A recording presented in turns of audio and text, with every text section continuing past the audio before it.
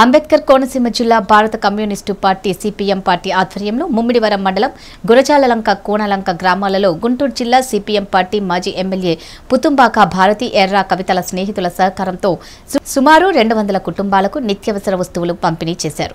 ముంపు ప్రాంతాలలో బాధితులకు అండగా ఉండి బాధితులకు మనోధైర్యాన్ని నింపి సిపిఎం పార్టీ నాయకులు ఈ సందర్భంగా మాజీ ఎమ్మెల్యే భారతి వరద ప్రాంత ప్రజల సమస్యలు అడిగి తెలుసుకోవడం జరిగింది. రాష్ట్ర ప్రభుత్వం వరద బాధితులను అన్ని విధాలా ఆదుకో తీసుకోవాలని ప్రభుత్వాన్ని డిమాండ్ చేశారు.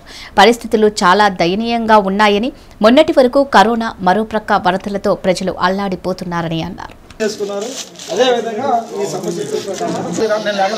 చేసుకున్నారు నిజామాబాద్ నాలుగు గంటలు లేచి అరే బాబు లేచావా లేదా అని చెప్పేసి మమ్మల్ని బయలుదేరి తీసి రోడ్డు మీద తీసుకొచ్చి ఆమె ఒక కారు మాట్లాడు కారులో కారు కూడా లేదు బయట వేసి కదా మాట్లాడుకొని సమానం వేసుకొని వచ్చి పరిగెత్తి పరిగెత్తుకొచ్చి లేట్ అయిపోతుంది మళ్ళీ పొలాలకు వెళ్తారేమో కూలినాలు చేసుకునే వాళ్ళు. వాళ్ళు ఒక పూట పని మారితే మరి నష్టపోతారని చెప్పేసి ఆమె అట్లా పరిగెత్తుకొచ్చింది అందుకని ఒక మంచి మనసు అర్థం చేసుకుని అవగాహన చేసుకుని పేదలకు సాయం చేయాలనే ఒక ఆమెకి ఎర్ర జెండా ఇచ్చిన స్ఫూర్తి ఎర్రజెండా మార్గదర్శకత్వం. ఎర్రజెండా ఇచ్చిన స్ఫూర్తితో ఈ గ్రామానికి కదిలి రావడం జరిగింది. మేము అనేది ఏంటంటే మీరు కూడా భవిష్యత్తులో వచ్చే వాళ్ళందరూ కలుపుకొని సమస్యల పరిష్కారాన్ని ముందుకు రావాలని కోరుకుంటున్నాం మీరు కూడా ధైర్యంగా ఆత్మస్థైర్యం కోల్పోకుండా ముందుకు రావాలి నిలబడాలి. ప్రభుత్వం కూడా అడగాలి. ఇక్కడ ఓటేసి గెలిపించుకున్న ఏమైపోయారు ఎక్కడ ఉన్నారు మా బాధలు వచ్చినప్పుడు అడగాల్సినటువంటి అవసరం మన హక్కు మనకు ఉంది ఆ విధంగా మీరు చైతన్యవంతంగా ఉండాలనేది మా కోరిక. ఆ విధంగా ముందుకు రావాలనేది మా అభిప్రాయం. మీకు అందరికీ ధన్యవాదాలు. ఒకటి ఇస్తే చాలు. మూర్తి ప్రసాద్ గారు ఎవరమ్మా?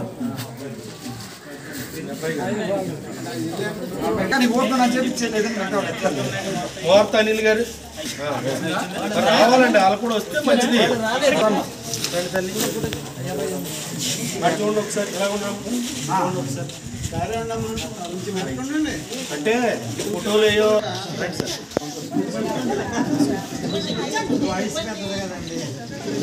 కానీ పంపాలి సత్యనారాయణ పంపాలి సత్యనారాయణ గారు తీసుకోండి ఓకే ఓకే ఓకే పట్టుకమ్మ తర్వాత పట్టుకోరా. వరలక్ష్మి జరుగు నీతిపూడి కమల గారు? జమలయ్య గారు? నీతిపూడి నాగదేవి గారు?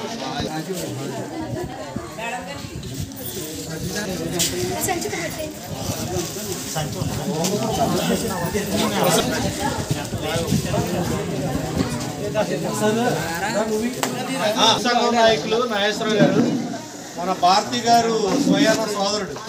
ఆయన కాకినాడ వచ్చారు. శ్రీ కుమారి గుల్లమ్మ గారు. రండి. గుల్లమ్మ గారు. కుమారి ఎవరు? కన్నీటి కుమారి కన్నీడి.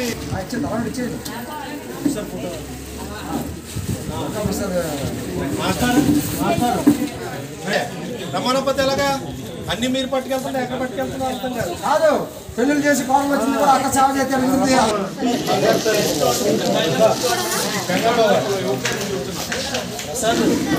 సత్యోత్తమ బాలయ్య గారు ఇస్తారు ఎట్లా శ్రీలక్ష్మి. రాకు. రాకు ధనలక్ష్మి గారు ఉన్నోళ్ళు ఇచ్చేసేయండి కన్నీరు సుబ్బారావు గారు. కన్నీరు సుబ్బారావు గారు.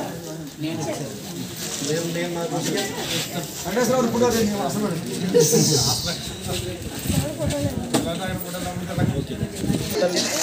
పోరాట రామలక్ష్మి. రామలక్ష్మి పోరాట భవాని.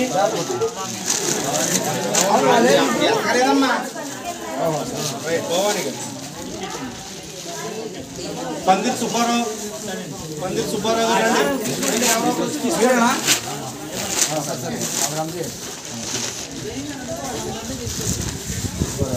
పందిర్ సత్యవతి.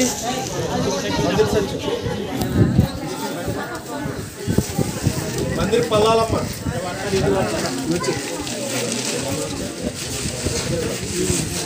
వార్త శ్రీరాములు. వార్త శ్రీరాములు. పందిరి ఈశ్వరుడు పందిరి ఈశ్వరుడు పందిరి నాగజ్యోతి. రవీంద్ర ప్రసాద్.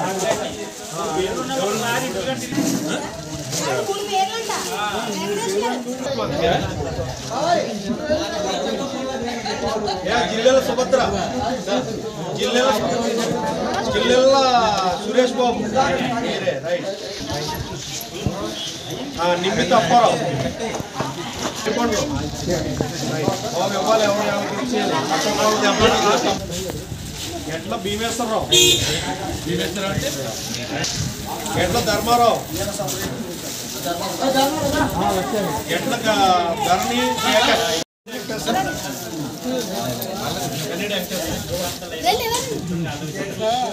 నల్లా బేబీ. నల్లా బేబీ. అటు అటు అలాగా. అటు చూడండి నల్లా నల్లా కన్నీటి పెద్దిట్లమ్మ. కన్నీటి పెద్దిట్లమ్మ. కన్నీటి కన్నీటి మాధవి మాధవి కుంచే కృష్ణమూర్తి ఓకే కుంచే కృష్ణమూర్తి రాబో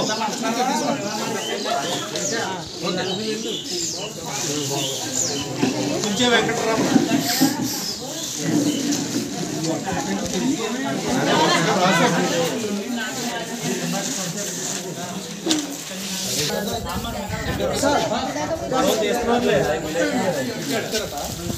గవర్నమెంట్ కొట్టమ్మ అశోక్ అశోక్ ఎక్కడ ఉన్నాడు అశోక్? అశోక్? అశోక్ వచ్చే సాయిబాబు. సాయిబాబు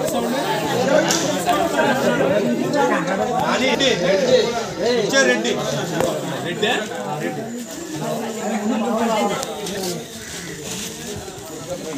ఎట్ల వెంకటేశ్వరరావు. ఎట్ల వెంకటేశ్వరరావు. ఎట్ల శ్రీనివాసరావు. ఎట్ల శ్రీరామచంద్రమూర్తి. ఎట్ల వెంకటలక్ష్మమ్మ. ఇక్కడ బయట మనకు కూడా వార్త మోర్త శ్రీ మో- కాంతమ్మ. ఎవరమ్మా? అప్పన్న. అప్పన్న. ఎరియా? ఎరియా. కన్నీడు అప్పన్న?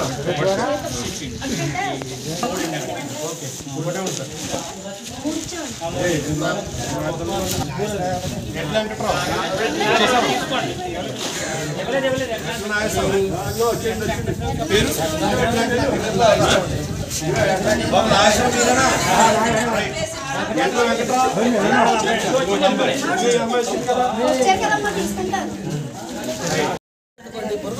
బురదలో మాకు ఏదైనా చెయ్యండి అయ్యా అని చెప్పేసి అడిగారు అనుకో ఏ నువ్వు ఏమైనా ఉరికినే వేసావా నీకు ఐదు వందలు ఇచ్చాను.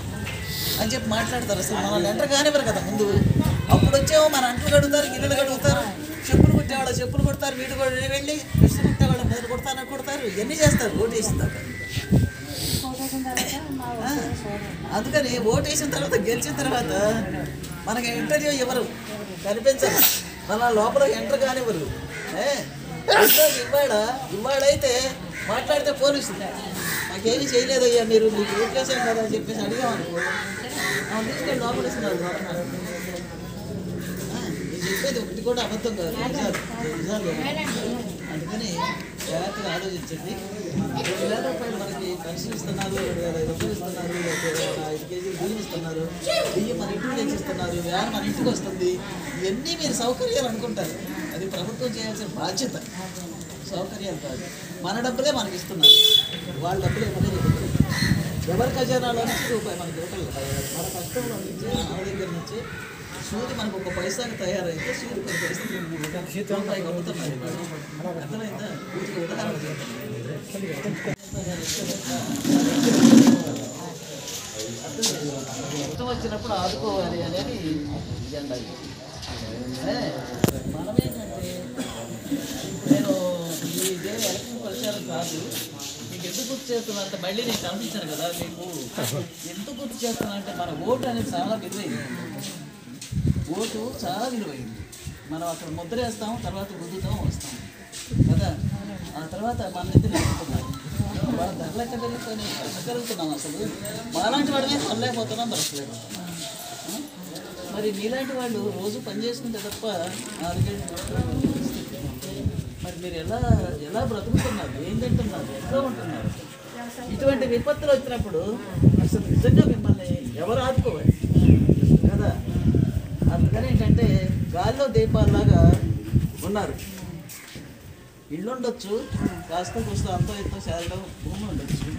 కానీ ప్రకృతి వైపరీత్యాలు వచ్చినప్పుడు ఆదు ఆదుకునేవాడు లేకపోతే చాలా డేంజర్ చాలా ప్రమాదం. సచ్చి బ్రతకడం బ్రతికి సాగడం కదా? దానికి ప్రధానంగా మనిషికి కావాల్సిన మంచినీళ్ళు. ముందు ఇట్లా ఈ రకమైన బురద నీళ్ళు వరదొచ్చి మనల్ని ముంచేస్తుంటే తాగడానికి నీళ్ళు ఉండవు మా చిన్నప్పుడు మంచినీళ్ళు లేక నేను మా నాయకులు చెప్పాను ముందు మంచినీళ్ళు సరఫరా చేయండి వాళ్ళకి. గ్రామాలు మునిగిపోయిన గ్రామాలకి మంచినీళ్ళు సప్లై చేయండి. అని చెప్పి చెప్పాను నేను. ఎందుకంటే చిన్నప్పుడు మేము అనుభవించాము. అందుకనే మా ఇప్పుడు కూడా ఇదేదో తగ్గిపోయిందిలే బయటపడ్డాం అనుకుంటున్నారు. కానీ ప్రాణ నష్టం జరగడంతో సంతోషం ఇంకోటి ఏంటంటే ఇక రాబోయే రోజుల్లో మనం జాగ్రత్తగా ఉండకపోతే అంటు రోగాలు వస్తాయి. అందుకని పరిశుభ్రంగా ఉండండి నీళ్ళు పరిశుభ్రంగా ఉంచుకోండి మీరు జాగ్రత్తగా ఉండండి. ఆ నీళ్ళు స్నానం చేసేటప్పుడు కూడా కాగబెట్టుకొని చేయండి. చన్నీళ్ళు చేయండి. నీళ్ళు తాగే నీళ్ళు కూడా కాగబెట్టుకునే తాగండి. పైన ఏం ఉండవు. ఎట్లా కూడా తింటారు మరి వండుకోవడానికి ఎట్లా శ్రమ పడుతున్నారు కదా. అట్లాగే నీళ్ళు తాగటానికి కూడా వండుకోవటమే అనుకోండి. నీళ్ళు కూడా. ఆ వేడి నీళ్ళే తాగండి. సన్నీళ్ళు మామూలుగా తెచ్చుకుని నీళ్ళు తాగి దానికి జబ్బులు వస్తాయి. అది వదిలిపెట్టిపోయినా మనం జబ్బులు వదిలిపెట్టాలి ప్రకృతి అంత తొందరగా వదలదు మనల్ని. కానీ ప్రకృతి ఖచ్చితంగా భయపడాల్సింది. మనిషి మనిషి భయపడక్కర్లా. ఎందుకంటే ఎవరి తిండి వాడమే తింటున్నాం కనుక మనిషిని చూసి మనిషి భయపడక్కర్లా. ప్రకృతి కోసం అందరం భయపడాలి. అర్థమైందా? అందుకని మనం మనం ఏంటంటే మనకి ఇబ్బందులు మన స్వతంత్రం వచ్చి డెబ్బై ఐదేళ్ళు ఏళ్ళు అయినా కూడా ఇప్పటికీ మనం ఒకరు నమస్కారం చేసి వాళ్ళు ఏమన్నా ఇస్తారేమో అనే ఎదురు చూసే పరిస్థితుల్లోనే ఉన్నాం. నూటికి డెబ్బై మంది. మాలాంటి వాళ్ళం నూటికి ఇరవై మందిని తినటానికి ఉండొచ్చు. కానీ మీలాంటి వాళ్ళందరూ ఇదే దినస్థితిలో ఇదే పరిస్థితుల్లో ఉన్నారు. మనం మనం బాగుపడాలి ఏం చెప్పేసి అంటే మన చైతన్యం పెరగాలి. ఈ వచ్చిన వాళ్ళు ఎవరి కోసం మాట్లాడుతున్నారు? ఎవరి కోసం వచ్చారు? ఏం చేయడానికి వచ్చారని అందుకని తెలిసిన మన వెంకటేశ్వరరావు లాంటి వాళ్ళు వచ్చి అమ్మ పలానా వాళ్ళకి మనకి మంచి జరుగుతుందని చెప్పినప్పుడు వినాలి మనం నమ్మాలి కదా? ఐదు వందలను నమ్మొద్దు. వెయ్యి రూపాయలని నమ్మద్దు. మనుషులు నమ్మద్దు. అర్థమైందా? అందుకని వెయ్యి రూపాయలు మగాళ్ళకైతేనేమో తాగడానికి ఒక రోజు సరిపోతుంది ఆడవాళ్ళకైతేనేమో రెండు రోజులు రెండు పెడతారు కదా? అందుకని మన చైతన్యం పెంచుకోవాలి. మన చైతన్యం పెంచుకుంటే మన ఓటే మన జీవితాన్ని కాపాడుతుంది. ఇది మర్చిపోవకండి. అర్థం చేస్తున్నారా? ఇప్పుడు చెప్పారు ముందే చెప్పారు కదా రెండు నిమిషాలు మనం స్టార్ట్ సిపిఎం పార్టీ భారతి గారు మాజీ ఎమ్మెల్యేగా పనిచేశారు. ఏ జెండా? ఎర్ర జెండా? ఎమ్మెల్యేగా పనిచేశారు. అసెంబ్లీలో పేదల సమస్యల మీద అప్పుడు ఉన్నటువంటి ప్రభుత్వాన్ని గలమెత్తి ప్రశ్నించినటువంటి వ్యక్తి. ఇప్పుడు మేమేమి ఎన్నికలు ఓట్లు సీట్ల కోసం రాలా? రాలా. రాలా. మేము ఇప్పుడు మేము పోటీ చేయట్లేదు. ఇప్పుడు ఎన్నికలు కూడా కాదు. సార్ ఇవి చెప్పింది ఏంటి? సారాంశం ఏంటి? మన ఓటు హక్కు ద్వారా మనం ప్రభుత్వాన్ని ఎన్నుకునేటువంటి అధికారం ఉంది. వందకి వెయ్యికి మనం ఓటు అమ్ముకుంటున్నాం. ఇప్పుడు చెప్పింది కదా ఓటేసిన తర్వాత ఏదైనా సమస్య అడుగుతుంటే మీరు వెయ్యి ఇచ్చాం కదా అంటదా కాబట్టి అటు కా ఆ విధంగా కాకుండా రాబోయే కాలంలో మీరు ఓటు అనేటువంటిది అప్పుడున్నటువంటి పరిస్థితుల్లో ఎర్ర జెండాలు అనేటువంటి సూచనలు చేస్తారు. ఇంకో అలా వాళ్ళు అయితే రాష్ట్రం బాగుంటుందని ఎవడు ఎండో గుద్దేస్తారు పొలోమని గుద్దేస్తారు తర్వాత అలోమని. ఇది మేము చెప్పదలుచుకుంది. ఇప్పుడు భారతి గారు